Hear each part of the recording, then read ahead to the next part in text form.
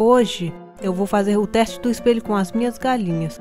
É um teste de autoconsciência, mas vou fazer de uma forma diferente do habitual, pois para fazer o teste tradicional é necessário medicar o animal para ele dormir. E então você coloca marcações coloridas em pontos cegos que o animal não conseguiria ver sem o reflexo. Quando ele acorda, é colocado na frente de um espelho. Teoricamente, o animal que se reconhecesse tentaria remover as marcações. Muitas vezes isso funciona, mas é um teste um pouco falho, pois alguns animais apresentam desinteresse em remover as marcações. Estarei colocando o link de um artigo científico na descrição sobre um teste do espelho feito com galos. Este teste foi feito de forma inovadora. Para o nosso teste do espelho, vamos nos basear no comportamento individual de cada galinha. A primeira galinha a ser testada é a Lisa. É uma galinha confiante. Anteriormente, testamos seu comportamento com galinhas novas, o resultado foi que quando ela as encontra, a Lisa se comporta de forma agressiva, as atacando, para mostrar dominância, mesmo que a oponente seja maior que ela mesma. Agora vamos ver como ela reage ao espelho.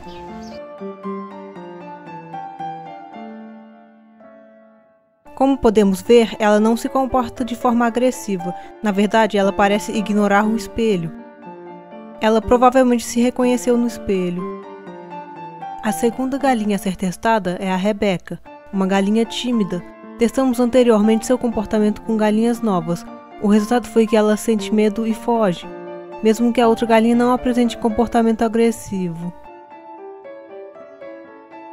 Podemos observar que ela não foge e nem teme o seu reflexo, e assim como a Lisa, Rebeca parece não se importar com o reflexo, demonstrando que ela provavelmente se reconheceu no espelho.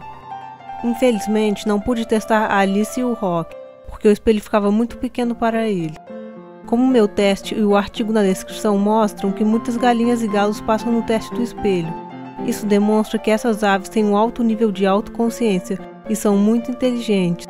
Teste que até mesmo cães e gatos não passam, mas vale lembrar que uma minoria de galinhas não passam nesse teste, mas no geral elas se reconhecem.